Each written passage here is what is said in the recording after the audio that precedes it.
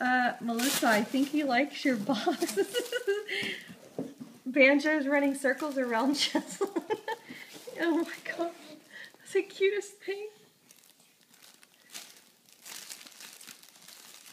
He likes the tape.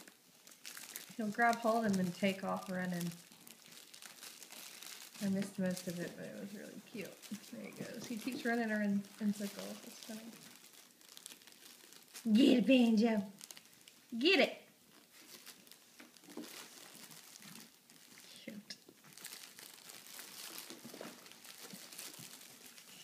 There you go. he tried to go through a little space and he couldn't get the box. He was like trying to pull it through this little crack. Here he goes. He's got a game going on. Banjo in the box.